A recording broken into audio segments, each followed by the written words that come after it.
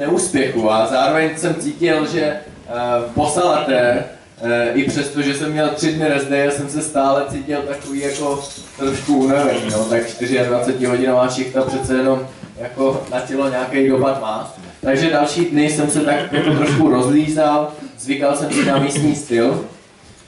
A postupně se jsem začal cítit líp a líp a potom na poslední den jsem si nechal tu cestu Just Do It, což je 8C+, a jak jsem říkal, bylo to jako první živé tribut v roce 92. A byla to první 8C plusko vůbec v Americe. A ještě dlouhé roky potom to bylo považováno za nejtěžší cestu v Americe. No, oni američani byli v tom dost opoždění. V Evropě už dávno byly 9 Ačka v 90. letech, v Americe pořád nic. A Just Do It vede na tuhle věž Monkey Face. Je to prostě samostatně stojící věž, úplně jako fantastická linie. Tohle to je hnedka vpravo Just Do It, velmi pěkná cesta 8B, Spank the Monkey. No a tohle to už je potom to Just Do It, no. Um, ten den jako nebyl úplně ideální, byla brutální kosa. Uh, bylo třeba možná 5 stupňů, ale nejhorší bylo, že brutálně foukalo. A dost místňáků mě vlastně i odrazovalo od toho, abych to jako vůbec zkoušel, protože znali právě tady tyhle povětrnostní podmínky a znali jako, když začnete lézt téhle 45 metrové cestě, tak jak rychle vám na těch malých chytech můžou zmrznout prsty, no. Um, já jsem úplně nevěřil a už jsem prostě byl připraven na to, že to jako do toho jdu a už to prostě jako nebudu měnit. Byl jsem připraven, že v půlce je taková jako polička, eh, kde jsem se potom dozvěděl, že eh, Chris Sharma eh, tam sundával mikinu. Já jsem měl ten stejný nápad, že na té polici se sundá mikinu. No. Když jsem tam potom dolez, tak jsem zjistil, že je taková klemra, že si nebudu sundávat ani tu čepici. A o mikině nebylo ani pomyšlení. Ne, že by to na té poličce nešlo, ale prostě měl jsem dost Eh, starostí sám se sebou a eh, se zahříváním svých prstů. Ta klíčová část Just Do It je spíš tady tahle vrchní e, převyšlá část, nicméně už ta spodní je sama o sobě za 8B a je to takový jako hodně e, podobný lezení našemu pískovci. Velmi jako nepříjemný, nejistý kroky, e, dá se to hodně pokazit. Zatímco ta vrchní část už je spíše fyzičtější, prstová, malý chyty, a, a samozřejmě i vytrvalostní. Prsty mrzly, ale stále naštěstí jsou tam vždycky takový jako malý odpočinky, kde jsem se mohl aspoň trošku zahřát. Zajímavý je, že tady vlastně vidíte už tu finální část, kde bojuju těsně pod koncem a hnedka za rohem je tam jako technická cesta, hákovačka, která je totální jako dnítový žebřík. Jako na tom prostě vůbec, vůbec nic není a tam opravdu se stály fronty a za ten den to možná vylezlo jako 100 lidí. Nedovedu si představit, že v Evropě by jako někdo lezl stále mýtový žebřík. No je to jako něco mezi aferátou a, a cestou. Nicméně ta cesta se mi teda podařila vylézt na onsite a, a byl to jako úplně neskutečný zážitek. E, doporučuji na našem YouTube, i když tak e, celá ta cesta jako ke zhlédnutí bez jakýchkoliv střihů ještě s mým komentářem. Mohl bych to pustit, ale mám tam ještě připravená v téhle přednášce potom další videa, tak si je schovám a kdo má zájem, nebo kdo to ještě neviděl, tak se na to určitě koukně. Z Oregonu jsme potom ze Smith roku zaří, zamířili k další oblasti, kterou jsem si vysnil, a to je Indian Creek. Ale po cestě jsme se stavili ještě e, ve fabrice v Black Diamondu, která je e, v Utahu, v Salt Lake City. No a hnedka u Salt Lake City je tahle spíše lokální oblast Little Cottonwood, kde jsou jak tradiční cesty, tak i nějaký ten bouldering. Já jsem cítil, že potom lezení uh, v Yosemitech a potom sportovním lezení uh, ve Smith roku by to chtělo no, trošku si zaboudrovat, trošku zase potrápit tu sílu. Tohle je poměrně známý 8B od Krise Sharmy, který to údajně, myslím, že v 17 letech vylezl prý za 30 stupňového tepla když byl uh, v Salt Lake City uh, na nějakém veletrhu, jak se tam boulder dá za 30 stupňového tepla, úplně rozumím. Asi byl fakt dobrý. Tohle je další 8B, moc hezký. No a potom už jsme byli stále na cestě, sedli jsme do našeho uh, brutálního RVčka, což RVčko je uh, uh, takový prostě americký karavan, který měl 5,5 tuny. Mimochodem žral 33 litrů na 100 km. Ale opravdu poskytoval jako dobrý komfort, to se mi zase jako nedá upřít. No a dojeli jsme do Indian Creeku. Indian Creek, tak to jsou jenom spáry. Spáry, širočiny, trhliny, prstovky, nic jiného tam nenajdete. Jo, dobře, na tomhle, na tomhle obrázku vidíte, že se tam dokonce drží hrana.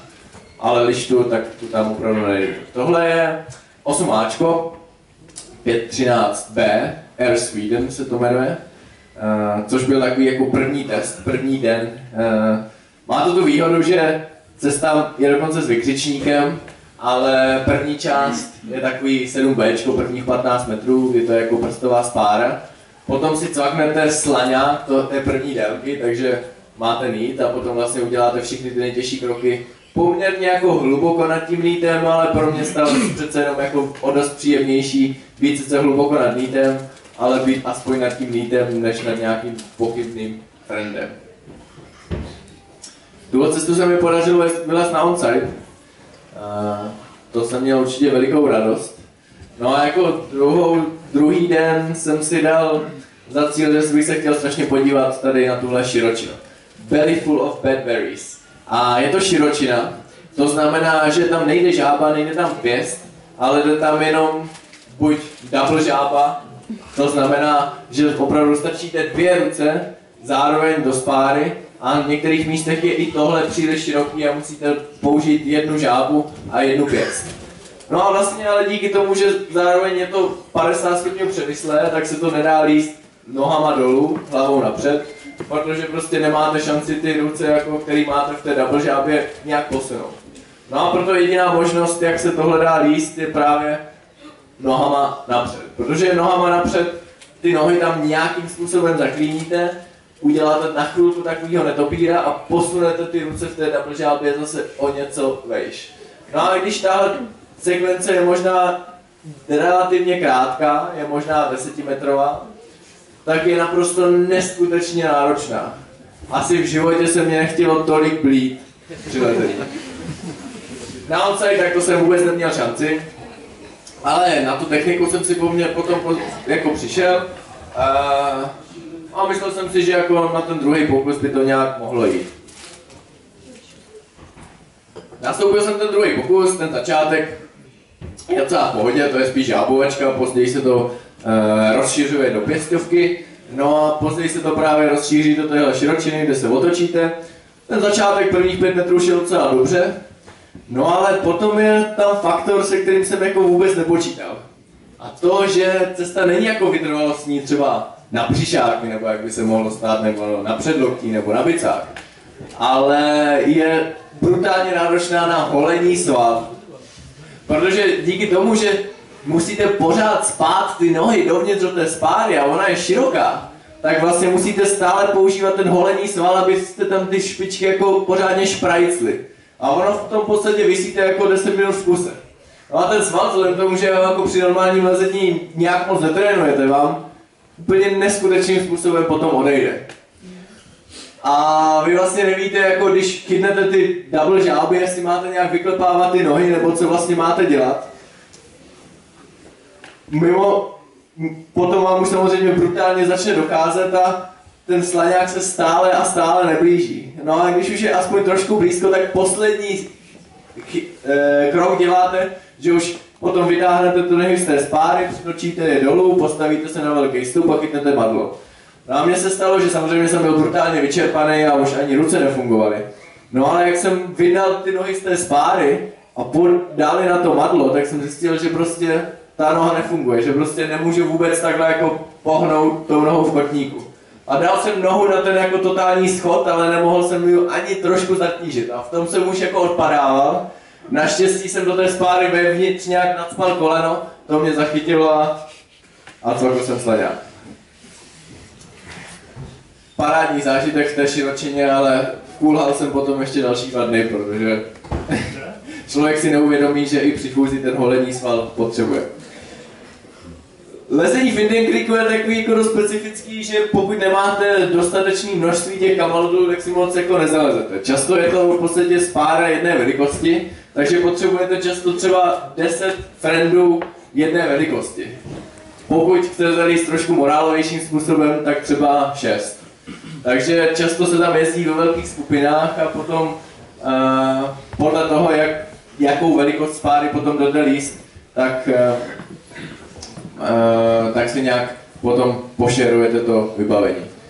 Každopádně jsem si jako v Indian Creeku vzhledem k tomu, jaký uh, masivní rek si sebou musíte vzít, trošku připadal jak šerpa, asi v životě jsem do skal nechodil s těžším baťohem, protože když si opravdu vezmete třeba 6-7 těch friendů velikosti číslo 6, tak to už, už to má samo o sobě pár kilo.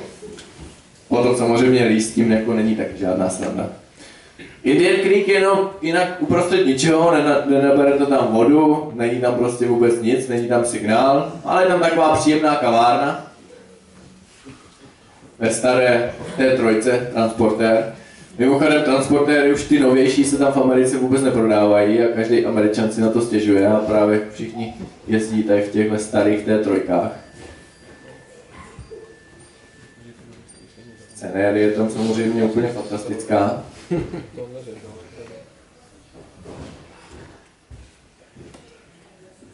A to, aby se tam pošetřil, pošetřil člověk třeba tu kůži, tak je dobrý se rozlízat v jiné velikosti e, té spáry, než potom, co vás čeká. Takže samozřejmě, když vás čeká žábovačka, tak je blbý se rozlízat taky v žábě, protože si odřete ty, ty ruce.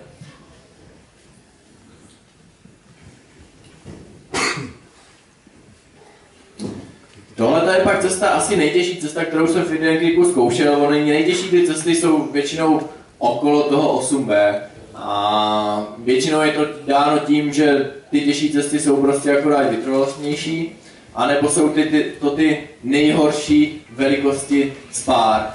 A tohle cesta, která se jmenuje Hot Pork Sunday, je to ve francouzském 8B. A ta je právě náročná tím, že to je prstovka, ale je to prstovka, fakticky by se to řeklo na ringlock. Nevím ani, jaký je český ekvivalent toho, ale každopádně je to prstovka, která se vám jako ani nekousne. Je prostě o něco širší, než byste si přáli většinu toho času. A, ale zároveň je příliš tenká na to, abyste tam dali žábu. No a vlastně to, co to dělá 8B, je, že tady tímhle způsobem musíte líst 20 metrů v kuse. Co je dobrý, že už jste někde 50 metrů od zemí, takže se úplně nemusíte zabývat, jestli teďka založím nebo nezaložím, protože jste tak vysoko nad zemí, že se vám hrozí pořádný pád. No a tak je zajímavý, že samozřejmě okolo není ale naprosto, ale naprosto nic. Uh, v Indian Creeku jsou zajímavý ty spáry tím, že to prostě nějak, nějak neošidíte, že tam prostě jako nejsou vevnitř nějaký hrbolky v té spáře, aby se to mohli o vysoko líkovat. Prostě když nemáte tu správnou techniku, jak tam ty prsty pořádně zatemovat, tak si neškrtnete. A stupy vedle absolutně nejsou. Jsou na to třeba, jako třeba speciální lezečky, takže tuhle spáru lezu v Miurách velikosti 42, i když normální moje velikost je 39. Je to z toho důvodu, že ta spára je tak tenká, protože ve 39 mám tu nohu prostě tak smáčklou, že ten že je ta noha prostě příliš tlustá na to, aby se do té spáry vešla. Takže prostě ta noha musí být velká, abych ty nohy tam, prsty tam měl natáhlý.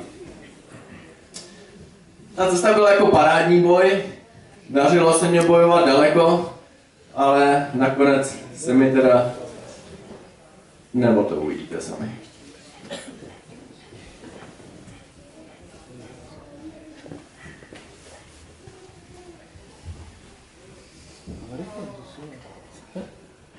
A mě zbývá takový nějaký 4 metříky do konce.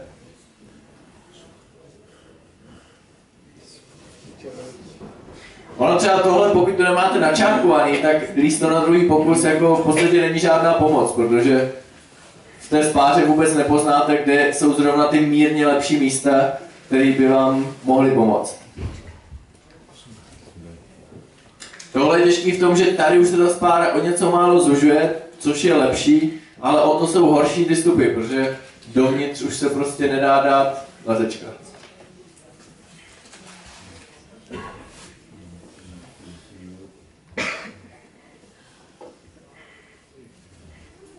Tady byla velká chyba, že jsem zakládal. No. Tím, jsem se, tím jsem se úplně zbytečně uravil. I když teď mě hrozilo, že ho maximálně třeba 12 metrů pád.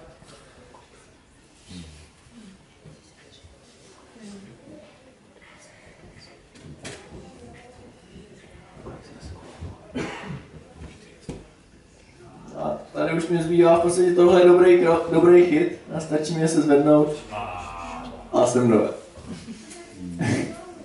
Ale jak jsem říkal, stěl jsem dolů ke štandu, chtěl jsem dát druhý pokus, ale v podstatě to, že jsem lezl druhý pokus, mě jako nějak nepomohlo, protože jsem opravdu tam stále tápal úplně stejně jako na ten první onside a, a byl jsem akorát uranější, takže jsem spadnul opět kroku dřív a, a, a cestu jsem nevylezl. Je to poušť, takže tady opravdu se jezdí jenom v pozdním eh, podzimu, zimě a v brzkém jaře, jinak tam jsou hadí, škorpioni, nic pěkného.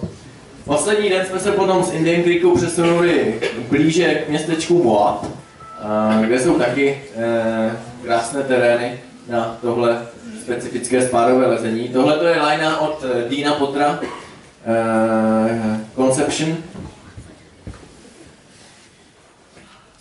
Tohle to je možná cesta, která se mě ze všech těch spár v Indian Creeku líbila nejvíc. Byla prostě jako nejdokonalejší a, a střídali se tam vlastně styly, na začátku to byly velmi tenké prsty, byly tady těchto ringloků, což byl nejtěžší, nejtěžší místo a krásná žábovačka na konci. Je krásný, že jo, když tak to, co tam vlevo dole vypadá, že je spára, tak není spára, ale no. Uh, a je v podstatě ta stěna je 100 metrů široká a tohle to je jediná spára, která protíná tu samotnou stěnu.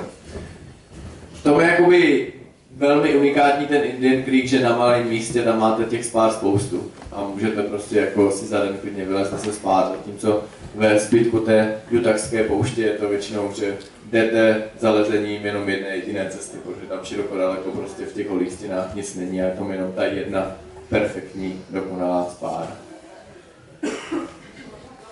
Ale většinou stojí za to. Pro mě určitě tady to párové lezení na pískovci byla velká lekce a, a velmi cená. Zhodnotil jsem si, že, eh, že bych se snad díky tady téhle zkušenosti potom v nějakých vyšších horách, kde to bude čistě o sport tradičním lezení, kde se musíte jistit vlastní místící prostředky, že by to snad mohlo fungovat. Ale nicméně po týdnu tady těchto spádových lezení moje ruce žádali o Žádali už nějaký normálnější sportovní lezení. Sedli jsme znovu do našeho mamutího auta a přejeli jsme dlouhý přejezd z Utahu zpátky do San Francisca a zpátky jak nic na letiště. Dlouho jsme tady ještě přebalovali věci, protože od Black Diamondu jsme dostali poměrně eh, těžkou, těžké závaží spousta kamalotů a najednou jsme měli brutální nadváhu. Takže byla to opravdu velká logistika to přebalit tak, aby jsme se vlezli. No a odletěli jsme ze Spojených států do Chile. V Chile jsme, jsem už měl plánu normální sportovní lezení, ale každopádně eh, lidi, kteří mě tam pozvali ze Santiago, místní lesci, tak chtěli, abych uspořádal přednášku. Dost jsem jako koukal, jaká je popularita e, sportovního lezení v Chile. Asi v životě jsem neviděl, že by třeba na přednášku do, sport, do nákupního centra přišlo tolik lidí a že by třeba potom ty fanoušci byli jako tak agresivní. To bylo jako úplně něco neskutečného. Asi v životě jsem si nepřed... Jako ano, často si teďka před, e, připadám, že jako když někam přijedu, že jsem jako velká hvězda, ale tam to bylo prostě dovedeno do úplně absurdné. Jako. Když potom na přednášce, já jsem ještě řekl, přednáška byla ve španělštině, řekl jako, že jo, tak je teďka konec a kdo chce, tak si se mnou může vyfotit a, a, a, udělat podpis. Ale v tu ránu se prostě ty stovky lidí ke mně jako nahrnuli. Já jsem měl pod, vedle sebe jako dva bodyguardy, aby vlastně mě neobklíčili ze všech stran. A ta fronta prostě jako byla úplně nekonečná, že byl jsem pak rád, že následující den už jsme potom jeli někam eh, mimo civilizaci do divočiny. Nicméně ani tam mě fanoušci jako neopustili. Jako nechápu na tomhle trhu v provinčním městě mě tyhle dva babky, dvě babky poznali. Asi lezení včela opravdu frčí. V tom stejném provinčním městě jsme pak o další tři dny později seděli na internetu a v nákupním centru eh, v kavárně mě čtyři lidi požádali o fotku. To se mě nestane ani v Brně ve venku. Nicméně už nahoře potom ve skalách, údolí Kondoru ve Valadolos Condores, tak tam nikdo nebyl a bylo tam nádherně. Je to taková úplně brutální měsíční krajina, nádherná 2000 metrů nad mořem, se spoustou vodopádů, průznačnou vodou, která je v podstatě hnedka vedle kempu a se spoustou lezení.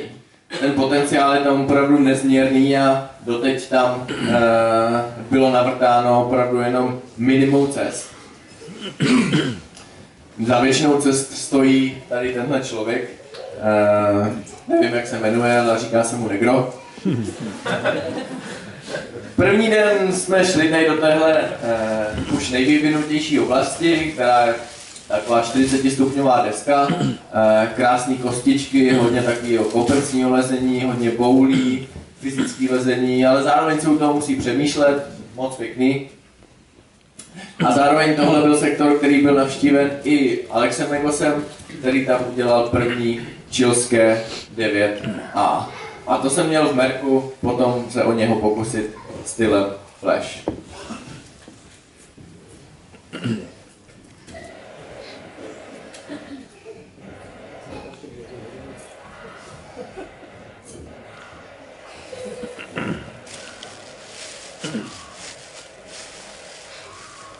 To je pak ten flashový pokus.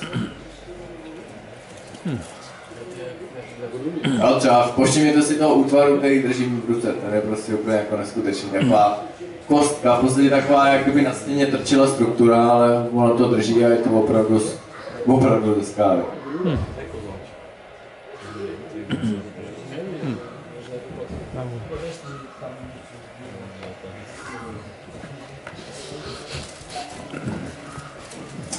Problém u těchto flashových cest je, že musíte mít toho člověka, který vám to správně vyradí a správně vyradí hlavně jako, aby to sedělo zrovna vám. Mm-hmm. A já jsem si nakoukal video, kde to Alex lezl. A zároveň jsem potom tam měl místňáka, který tu cestu už předtím s Alexem zkoušel. No ale nikdo mě to úplně neporadil tak, jak to se dělo mně.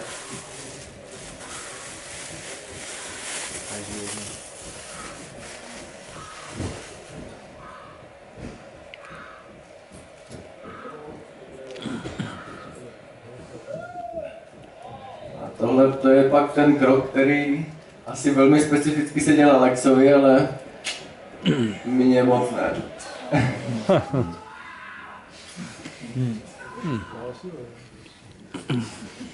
Následovali takový pokusy ještě tři.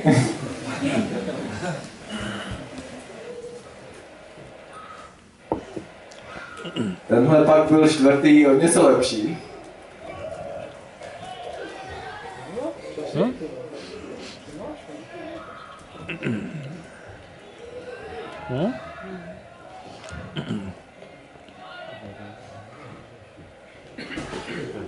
Je to úplně parádní lezení, prostě s nimi, to jsou takový tupý bočáky, to se na vápně najde.